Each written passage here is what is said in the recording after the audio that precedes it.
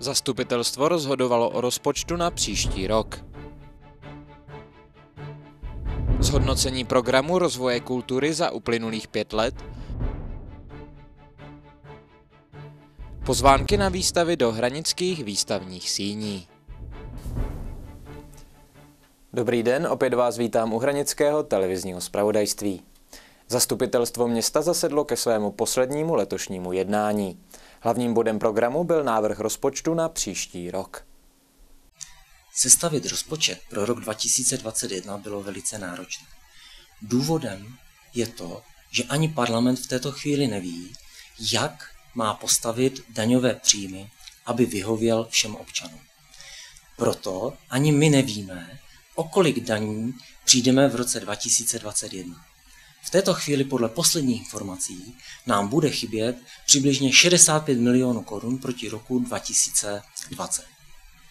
Proto došlo k rozpočtu jak ke snížení příjmu o tuto částku, tak jsme se snažili i výdaje eh, přizpůsobit těm nižším příjmům. Podařilo se v provozních výdajích seškrtat 10 milionů korun. Z toho vyplývá, že příjmy které jsou pro rok 2021 navrženy ve výši 313 milionů korun, jsou proti výdajům vyšší jen o 18 milionů korun. Výdaje tudíž činí 295 milionů korun. Na investice nám zbývá těch zmiňovaných 18 milionů korun. Zastupitelstvo však v průběhu roku 2020 již schválilo, že investice by měly činit 63 milionů korun. Rozdíl mezi tím, co již bylo schváleno, to znamená 63 milionů korun, a tím, co máme k dispozici, to je 18 milionů korun, jsme museli najít v rozpočtu roku 2020. Předpokládáme, že nám z tohoto roku pro příští rok právě zbude přibližně těch 45 milionů korun. Důvodem je, že jsme v roce 2020 Eh, šlápli takzvaně na brzdu a neutráceli jsme všechno, eh, co by jsme jinak eh, asi utratili. Velkým zdrojem v těch 45 milionech je i příspěvek státu na nedodané daně v tomto roce. Proto nebudeme muset zatím pro rok 2021 na investice čerpat žádný úvěr. S netrpělivostí očekáváme, jak dopadne hlasování parlamentu o tzv. daňovém balíčku. Pokud dojde k jeho úpravě, mohlo by to znamenat pro město přísun dalších eh, daní a tudíž i dalších prostředků na realizaci investic, které jsme museli v této chvíli odložit. Kam se za posledních pět let posunula kultura v Hranicích, tak to pro vás teď zhodnotí místo starosta města Hranice Vladimír Juračka. Rada na své poslední schůzi mimo jiné eh, projednala a doporučila zastupitelstvu města Hranic schválit program rozvoje kultury od roku 2021 do roku 2030. Je to takový zásadní dokument strategický, který nám naznačuje, jakým způsobem eh, by se měla kultura v hranicích ubíjet, ubírat a jakým způsobem by se měla rozvíjet. Že to není jenom eh, obsáhlý popsaný papír, svědčí to, že zároveň rada vyhodnocovala plnění předchozího programu rozvoje kultury, který byl zpracovaný na léta 2014 až 2020. Tady bych jenom uvedl určité ukazatele, na základě kterých můžeme zhodnotit, nakolik se ta kultura eh, v tom uplynulém období rozvinula. Co je neskutečné, tak třeba pětinásobně vzrostla návštěvnost výstav, které město pořádá. Dvojnásobně eh, vzrostl počet návštěvníků letního kina. Eh, dvojnásobně vzrostl počet návštěvníků koncertů, které pořádá hranice Brněnských kruh vážné hudby. A tak bych mohl v těchto kvantitativních ukazatelích eh, pokračovat, ale myslím si, že není, není smyslem unavovat tímto naše posluchače. Jinak eh, z takových dalších ukazatelů bych jenom uvedl, že t, ku příkladu v galerii Synagoga eh, došlo v tom hodnoceném období k tomu, že byly organizovány opravdu velmi špičkové výstavy soudobého českého výtvarného umění. Na Staré radnici eh, konečně po letech se začaly pořádat eh, výstavy s hranickou nebo s regionálním tématikou. Tady bych vzpomněl jenom úplně namátkou z toho velkého množství výstavu historii boxu nebo k historii hranické nemocnice či k historii lázeňství na Hranicku. I zde se významně zvedla účast. No a z takových těch akcí dalších bych vzpomněl nově zřízené muzeum, které je v prostorách zámku, dále novou expozici truhlic, která je na Staré radnici a připravovanou, v tuto chvíli tedy připravenou expozici mineralogických sbírek z depozitáře Městského muzea v Hranicích. Taky je nutno se zmínit v této souvislosti, že začal vycházet Hranický kulturní spravodaj nebo Hranic, spravodaj města Hranic, který přináší informace o kulturních akcích, jednak dopředu informuje, jednak přináší zhodnocení tady těchto akcí No a celou řadu akcí konaných ve venkovních prostorech, ať už to byly oslavy města Hranice nebo stále narůstající úroveň vánočních a předvánočních trhů. Tak to bylo zhodnocení uplynulých pěti let a teď se podíváme na to, co by nás v oblasti rozvoje kultury mělo čekat v následujících deseti letech.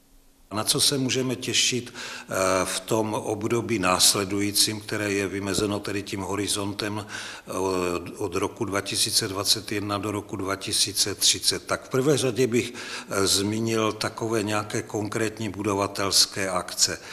V prvé řadě je to rekonstrukce letního kina, které je druhým nejnavštěvovnějším v České republice a má za sebou více než 60 let své existence a je zapotřebí, aby prošlo eh, důkladnou rekonstrukci.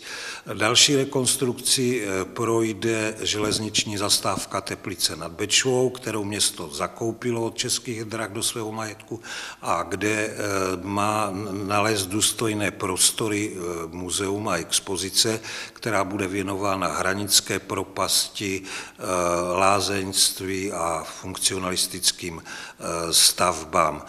Tady bych taky zmínil obrovskou návštěvnost tady tohoto turistického informačního centrále, které bohužel působí jenom v takových provizorních eh, prostorách.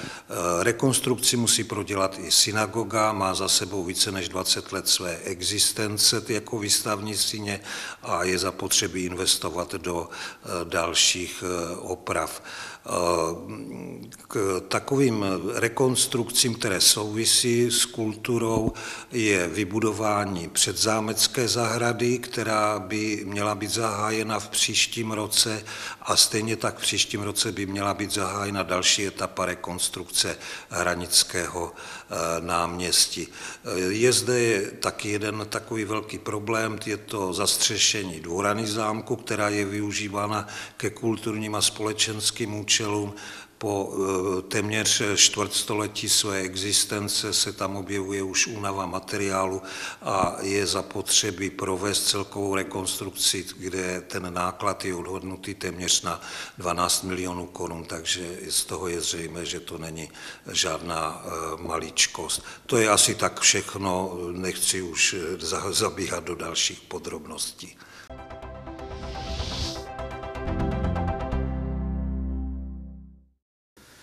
Na svém posledním zasedání zastupitelé města rozhodli, že vzhledem k vývoji situace ohledně financí a rozpočtu města a předpokládaným výpadkům příjmů nebude v roce 2021 vypsán grantový program města Hranic. Příspěvky jako takové, tak ty eh, jsou zachovány, ty přidělovány budou, nicméně granty, to znamená eh, finance na různé akce, tak eh, v tuto chvíli zastupitelé města na, ten, na rok 2021 zrušili. Poplatky za svoz komunálního odpadu by se v příštím roce měnit neměly, aspoň takový je návrh do zastupitelstva města. To znamená, že zůstávají ve stejné výši jako v letošním roce 696 korun eh, za poplatníka za rok. Zároveň eh, je také dobrá zpráva to, že zůstávají eh, ty výjimky, které v vyhlášce o odpadech jsou. To znamená, že neplatí jednak děti do 6 let a jednak lidé nad 70 let věku. Zároveň také je dobrou zprávou to, že zůstávají stejné i poplatky za psy. To znamená, že v příštím roce by se žádn, tato zátěž zvedat neměla. Připravujeme opět pravidelnou eh, výzvu pro stavebníky, že eh, mohou přihlásit stavbu, která byla skolaudovaná v roce 2020 do soutěže stavba roku.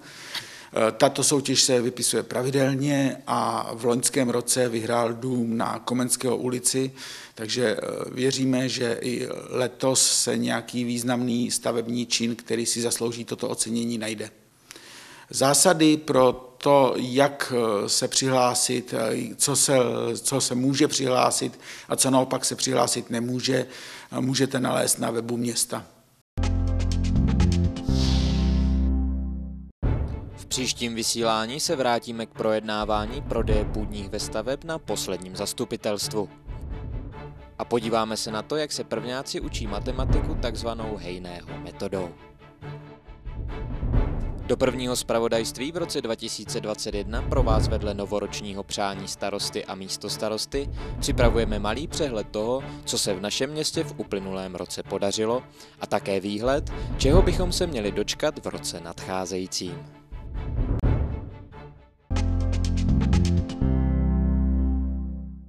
Výstavní síně jsou opět otevřeny. Na závěr tak pro vás máme pozvánku na několik zajímavých výstav.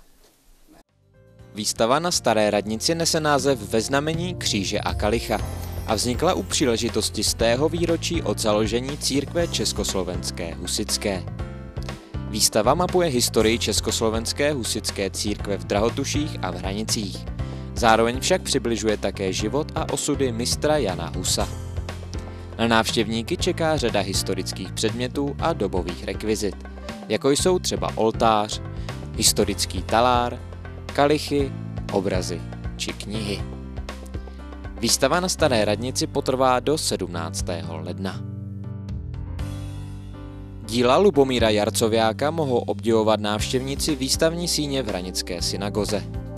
Zlínský umělec se věnuje především grafice, práci s papírem a knižní vazbě. V žádném případě se však neštítí ani hrubšího materiálu, při tvorbě sochařských projektů tak často využívá práci s betonem nebo pískovcem. Výstava s názvem Prohled bude zájemcům zpřístupněna do 7. února. Dveře všem návštěvníkům mohla otevřít také galerie M plus M se svou tradiční vánoční výstavou Betlému.